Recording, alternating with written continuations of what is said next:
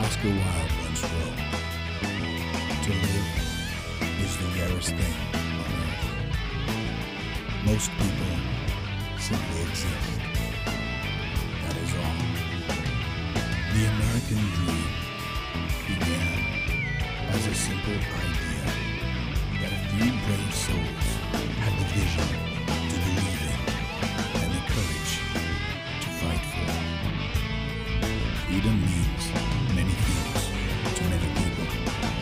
To us, it is simply the pursuit of happiness.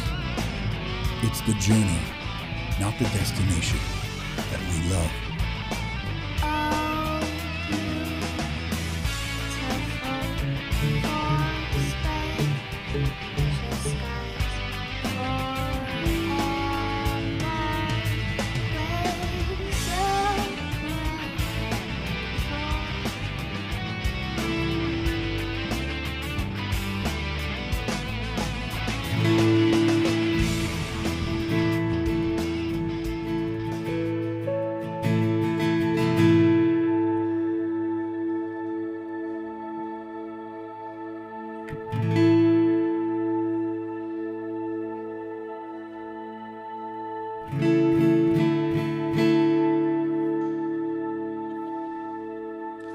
Good morning, everybody. Happy 4th of July. Yeah.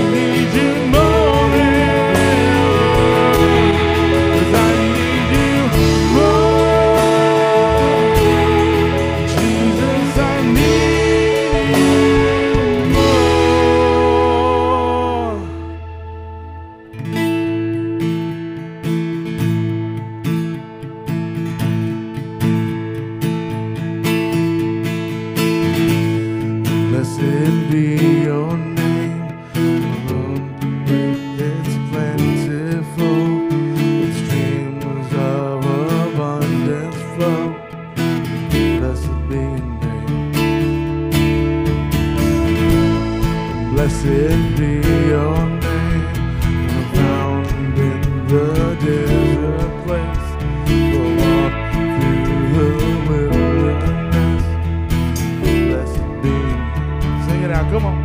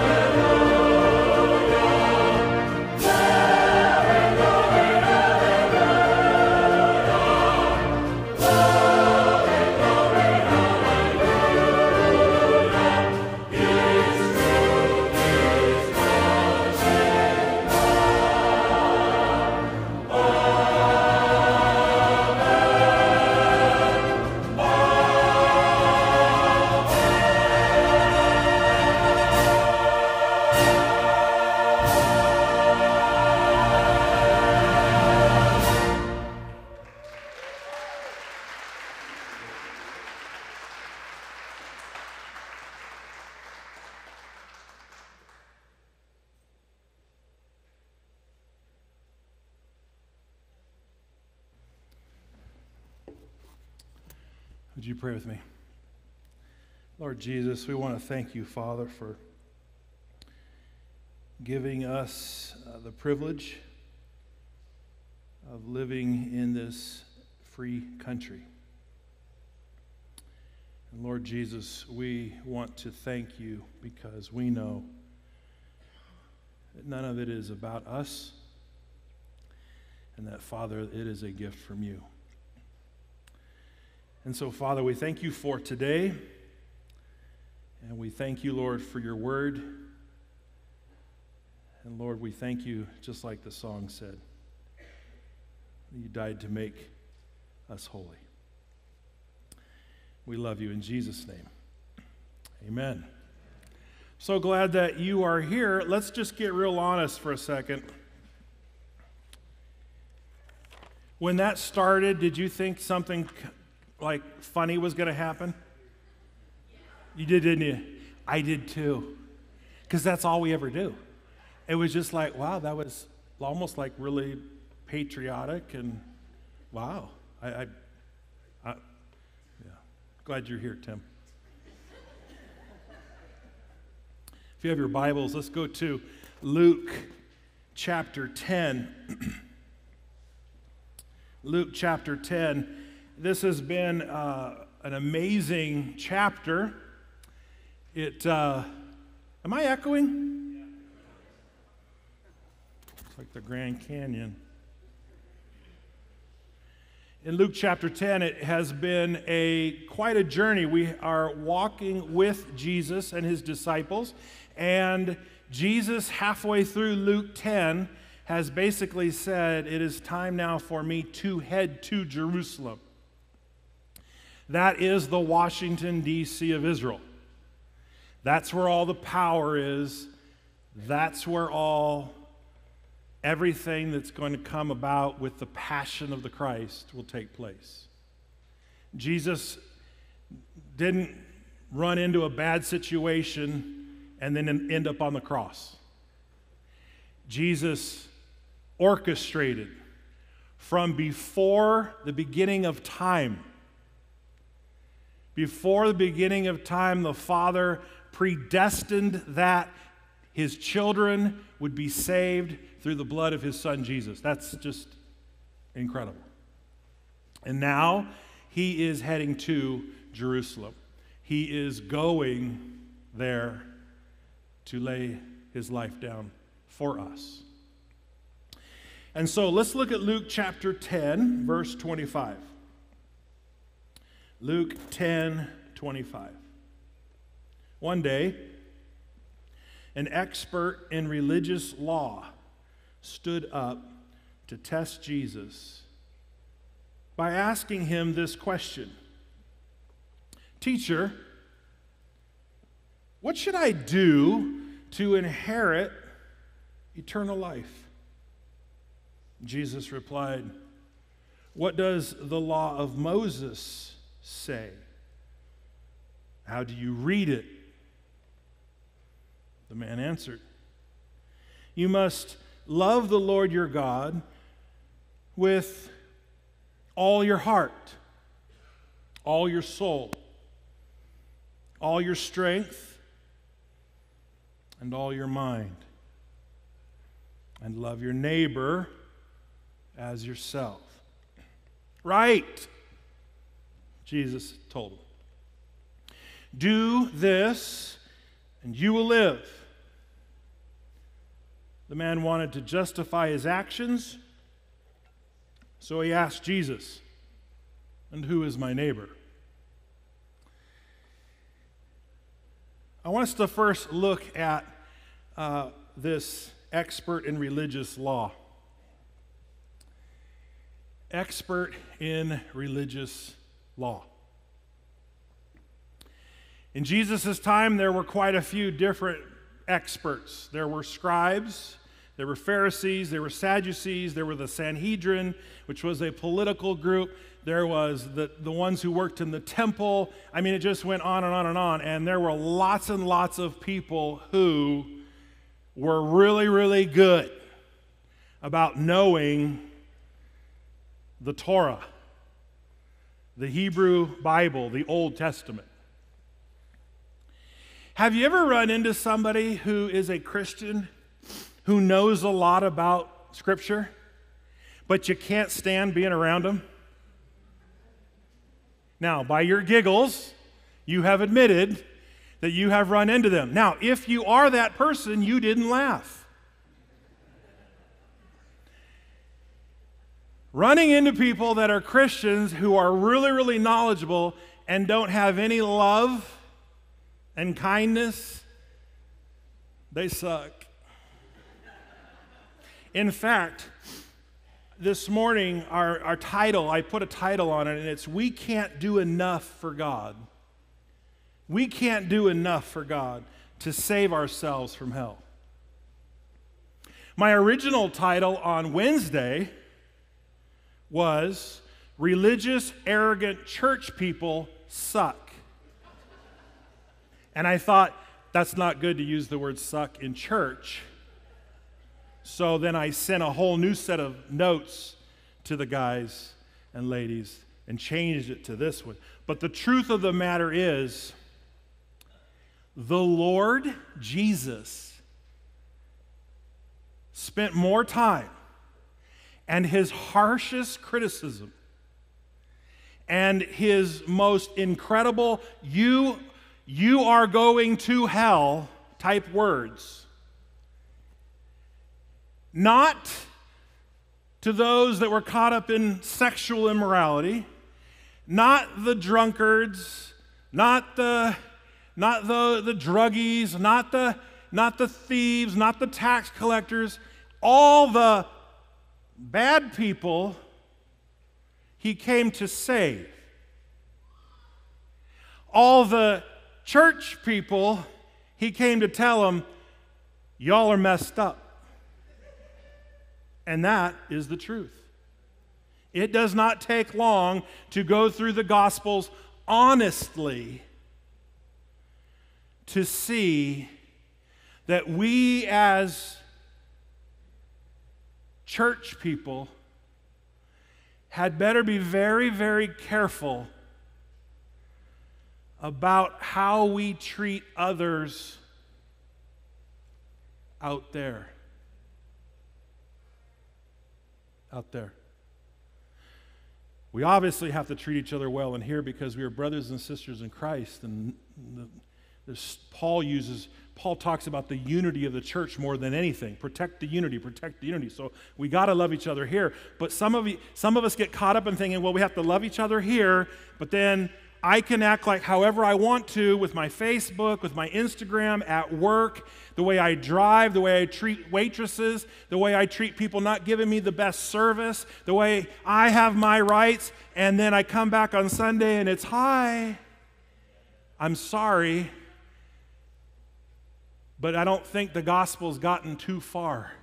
You see, when we have received mercy, what the Lord does is He starts making us what? Merciful. If you're not merciful, it may be you still haven't received mercy. Mercy.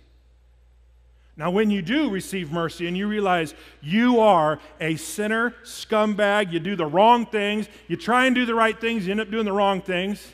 You, when you realize, I'm a mess, I'm a wreck, and then you go, Lord, I'm a wreck, and you receive His mercy and His grace, all of a sudden you're like, oh, that, that was fantastic.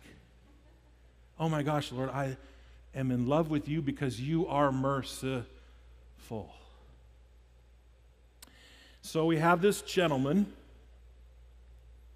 He's an expert in religious law.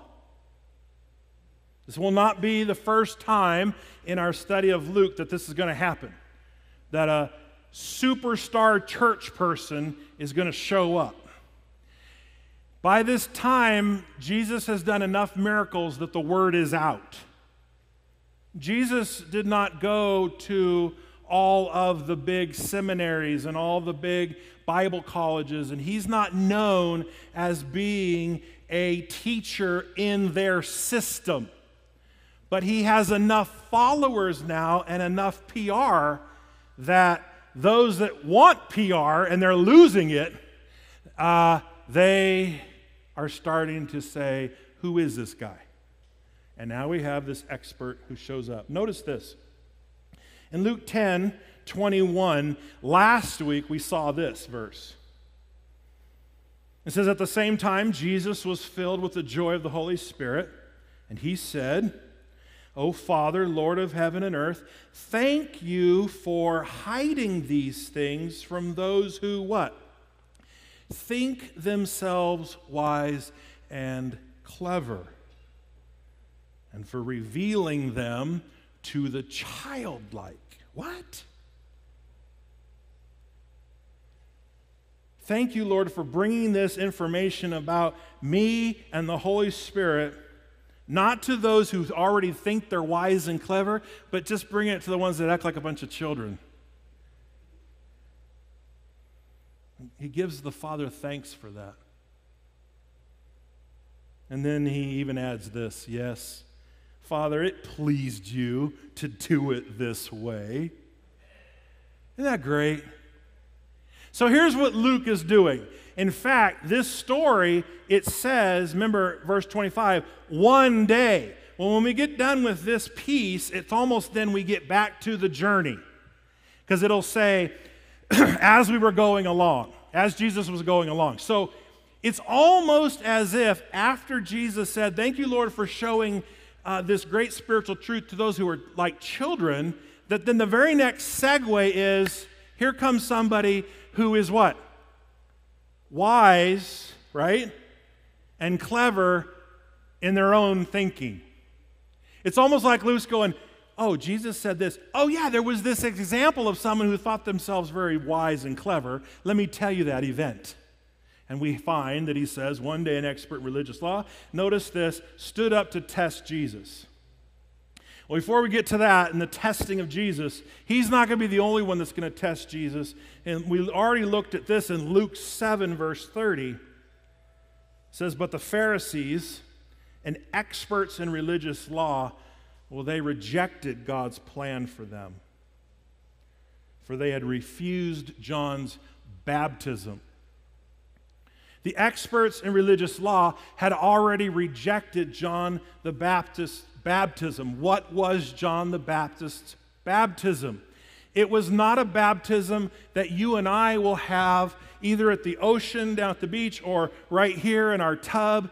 That is a baptism showing that we have received Christ as our Savior and it's a picture. We get lowered under the water, right? And then we come up out of the water. It's a picture of our future is in heaven with Jesus. We're not going to stay dead. We're not staying in the grave. To, to immediately, as soon as we die, we are in the presence of Jesus. Amen?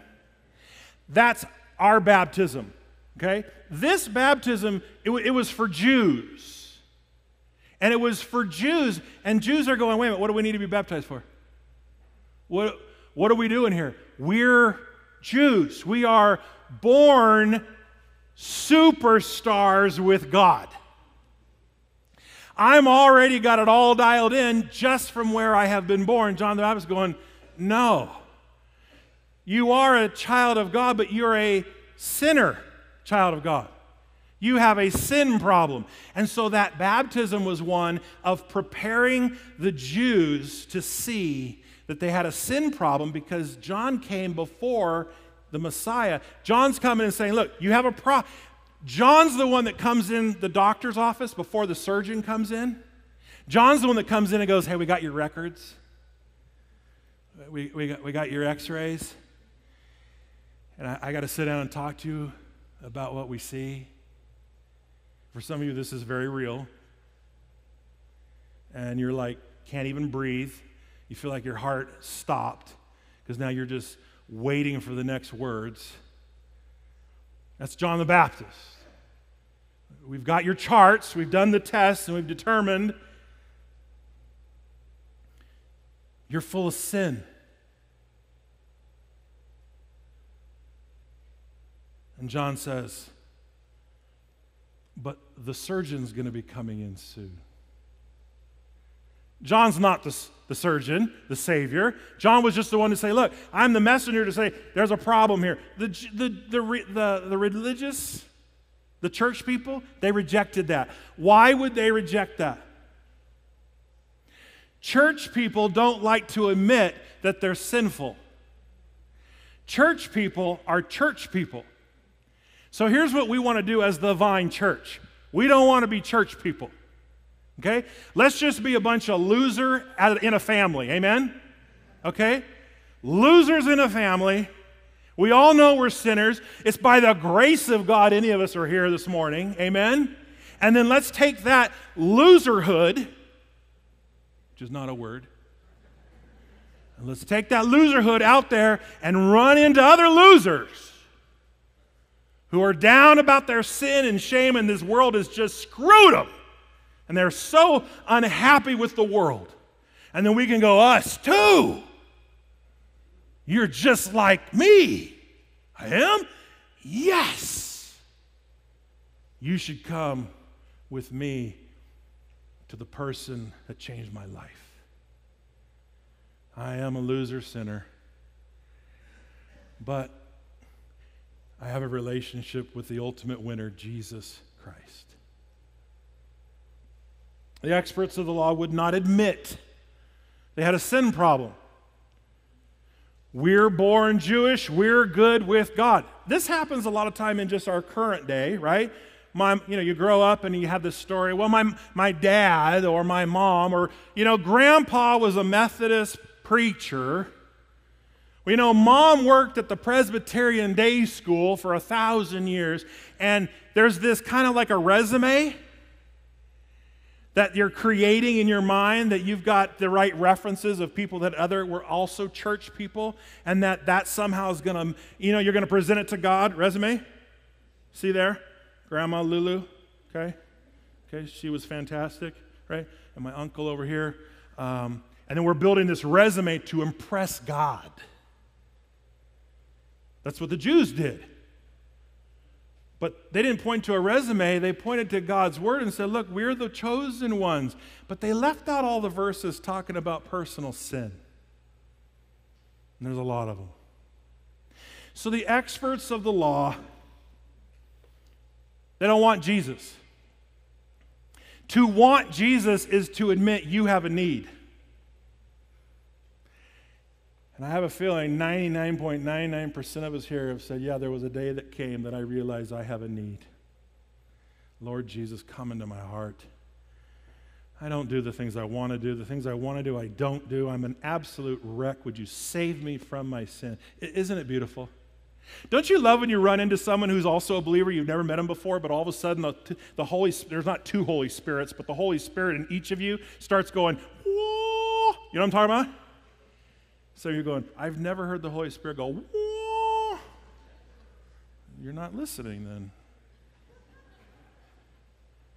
And then you have these conversations like, I knew you were, I knew you loved Jesus. I knew Jesus was in you. And then they go, I knew Jesus was in you too. And it's just like, what is that? You know what that is? That's not church. That certainly isn't religion. That's just God at work. Amen? So the first part is that we got an expert in religious law. Don't ever become an expert in religious law. If you become an expert in something, just make sure you have a huge dose of humility too and recognize that it's all by the grace of God. The second thing is that he stood up to test Jesus. I would make a lousy Messiah, I'll admit it. I would make a lousy Jesus, I admit it. First of all, way too much walking. You know what I'm talking about? way too much. And he walked here and he went here. And then you go on a map and you're like, oh, this is brutal, okay? Um, if I was Jesus and this expert in, in, religious law comes and he comes to test me, do you know what immediately happens? I get in the flesh. When I have taught my classes at Cal Baptist University, I went to my dean and I said, hey, I enjoy the teaching, I enjoy the students, I enjoy the college students, and I love those that, that don't know Jesus, that all of a sudden realize that there is sin in their life, and then they give their life to Jesus and they get saved. And I love how the lights come on and they're just, I love that. I said, but the problem is, is I've got some students that are smarter than me. And he said, I know. And then I didn't know how to feel. So you hired me. He said, Look, you only have to be a week ahead of them. When they ask a question about a, a future chapter, just say, Hey, Phil, it's a great question. And we'll get to that next week. I said, You are genius. That's genius. I'd make a lousy Jesus because if someone wants to test me, I'm going to get in the flesh. This is what's amazing about this passage. Not only does Jesus lead us into the parable of the, the Good Samaritan, but we find Jesus just being so calm, collected. He's not angry. He knows this guy's whacked, but he doesn't embarrass him. In fact, what we're going to find is he actually tells him exactly what he wants to hear. We have to be careful that we ask the Lord, Lord, not my will, but your will. Your will be done. Because he's about to give him exactly what he wants. Why? He knows his heart. He knows it. This isn't Zacchaeus, okay? A wee little man, a wee little man was he. He climbed up in the to to see what he could see. Right? Fantastic. This is why you put your kids in the group, man. You learn songs and learn the Zacchaeus song. It's a great story, but the heart of the matter was with Zacchaeus was he had a heart that was like, I'm a mess and I want I, I need help. Our expert here is not coming because he real, realizes he's a, he's a mess and he needs help. He's coming because he has male pride. In Deuteronomy 6 16, and this is the Torah, the first five books. Deuteronomy 6 16, very important passage. One that this expert in Bible wouldn't have known. You must not test the Lord your God as you did when you complained at Massah. You must not test the Lord. Now, notice then, if he's going to test Jesus, but he's an expert in doing the law, what is he admitting? That Jesus is not the Lord God. I can test you, Rabbi, Jesus of Nazareth, because you're just a guy who has a lot of fame, has done some magic tricks but you're not in our system. And I certainly don't believe that you are the Lord God, so I'm just going to test you. If he truly understood and believed that, that Jesus was the Messiah, being someone who has the knowledge, he would never have tested. Zacchaeus didn't test the Lord, he was a mess. This man tests Jesus. I want to, to show you a passage that's coming, Luke 11, 42 through 46. We'll jump ahead. Again, some more Pharisees, Jewish leaders, pastors, ministers are getting an earful from Jesus. Luke 11, 42. What sorrow awaits you, Pharisees? Now there's an exclamation point there, so it's more like this. What sorrow awaits you, Pharisees? Not what blessings. What sorrow awaits you? What's he talking about? After you are gone, once you die, what sorrow awaits you? That has got to be the saddest and scariest passage in all of Scripture to think you are doing what God wants you to do, only then to have God Himself say, You are so far from me, get thee behind me, I never want to see you again, you are out of my sight. Whoa.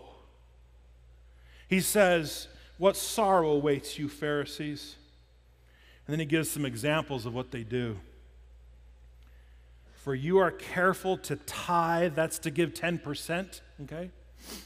For you are careful to tithe even the tiniest income from your herb gardens. Has anyone ever thought you go out and grow some, you know, cilantro?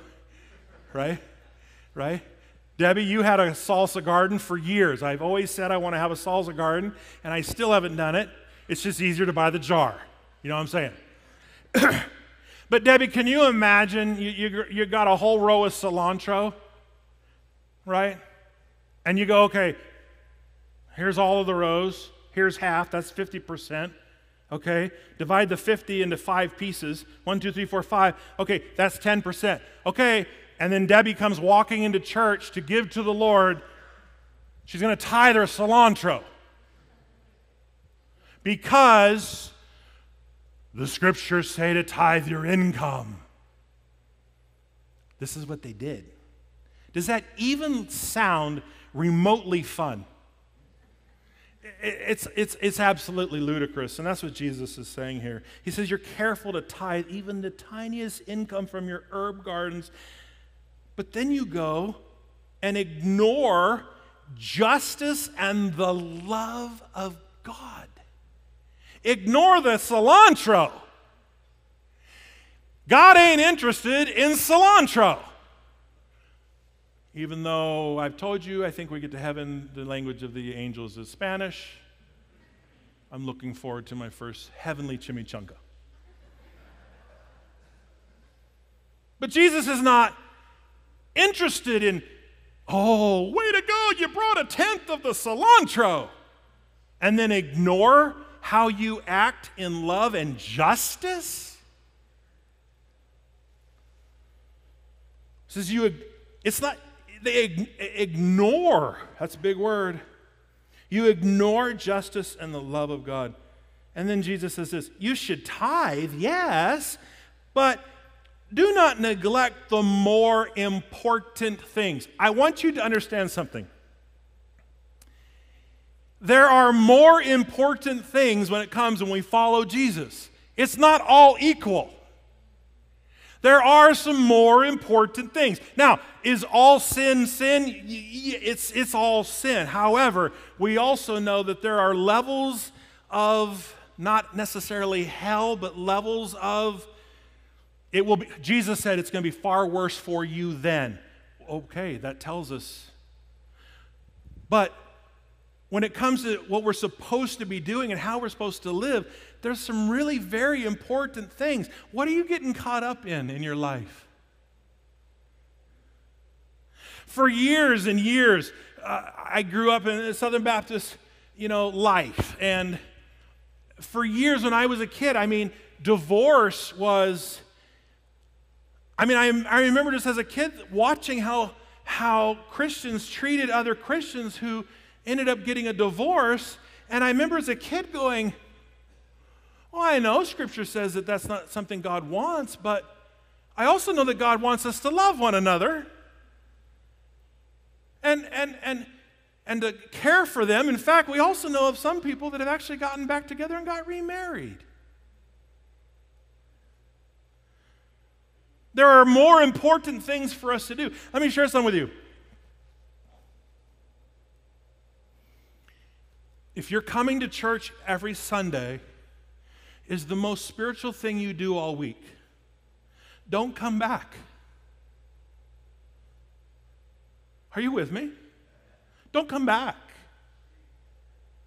If this is the most spiritual thing you do all week, don't come back here. Go to another church that likes church people life, that does the, the church country club thing. My kid's going to Stanford, and da da da da. Yeah, go over there. Ain't no Stanford people here. Well, maybe there are. But you know what I'm saying? This isn't the most spiritual thing we do. This is the least spiritual thing we do. This is what we do naturally because we have been changed by Jesus Christ. We are magnetized to be with each other. We are magnetized to come and to worship God. This is what He has done in us. This isn't what we do to get a check mark off with God. God's like, You want a check mark? I got a son who died on the cross. We go out there, we're counting cilantro, and then we're yelling over the fence obscenities at our neighbor.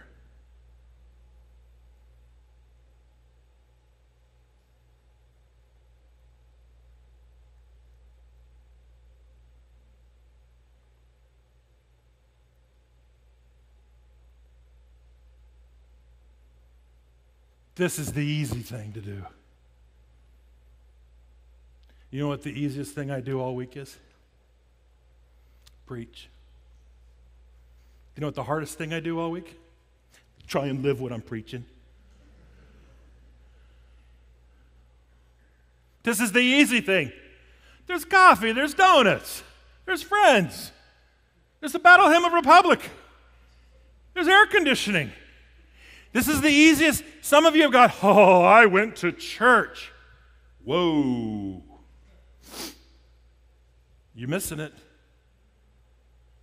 You got a neighbor who it's time to blow their world away by you smiling at them. Well, I don't like what uh, I don't like what political party they're a part of. I don't like the, the banners that they have in their in their yard. I don't care. I don't care. Go blow a neighbor away by, by smiling at them and give them a, hey, Brad, how's it going, bud? You doing all right? For some of, for some of your neighbors are going to be like, he must be higher than a kite. He's going to walk in his house and go, honey, the neighbors are doing pot. Everyone's doing pot now. Now the neighbors the church going people. No, no, no. Just blow their world. Be kind. Do you know what kindness will do? It might get someone saved. What would happen if someone walked up to you in heaven and you're laying flat on your face before the Lord? Because that's what we're all going to do, amen? Just like, Lord, I, I am not worthy, I am not worthy, your mercy and your grace. Oh my gosh, right? That's going to be the first million years, I think. But then while you're laying there, the guy next to you taps you, and you go, huh? I'm in heaven because, um, well, I screwed up your food order at lunch one day. And I, you told me three times that you were allergic, and I, I didn't pay attention. And it didn't work out well that day, but, and I knew I deserved everything you had to give out, but you were so kind. You were so nice to me. You know what you don't know is that earlier that week, our daughter had, had died of cancer. I, I can't pay all the medical bills. I'm doing this extra job of serving tables, and, and, it, and but you were just, you were so kind to me. And then God used that work of kindness in me, and then nine years later, another kind person came into my life and said that I didn't have to live with my sin and my shame anymore. And that there was an answer for all the dumb, stupid, disgusting things I've done. And, and then I came to know Jesus. But I just wanted you to know while our faces are down right before Jesus, right here for the next million years, that your kindness started it. Isn't that a great story? It's a great story, huh? Let's do another story. I'm not in heaven. But I worked with you for 30 years. I knew you went to church, but I don't want to be around church people. And then the politics in the United States just got real weird. And you didn't get better, you got bitter. In fact, you got mean and you got ugly. I never could figure out why you were so uptight. I just knew whatever you were getting at that church, that wasn't for me. And I got harder in my heart. I got angrier. Because if God really was a loving God, wouldn't He bring kind people who love God into my life?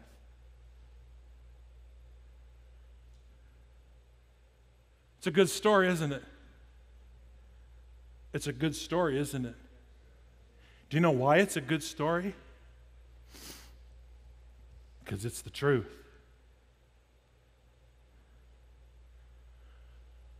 People aren't going to get saved because you have invited them to come to the vine. People are going to get saved out there because they have seen the Jesus in you.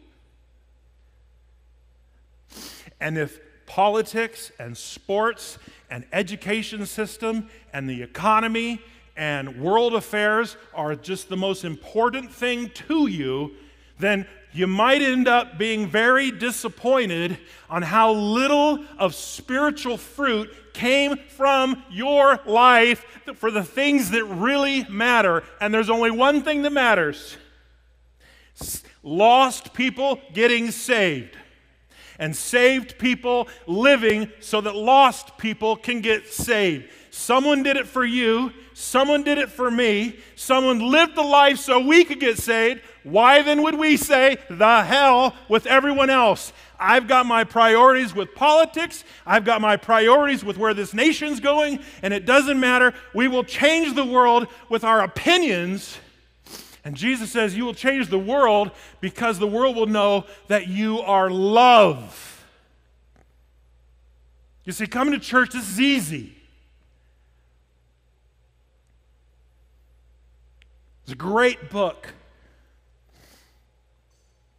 called The Accidental Pharisee.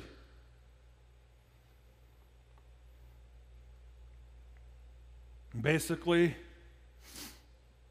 he says, we got to start looking more like Jesus. We got to start living more like Jesus so that Jesus can do his work through us.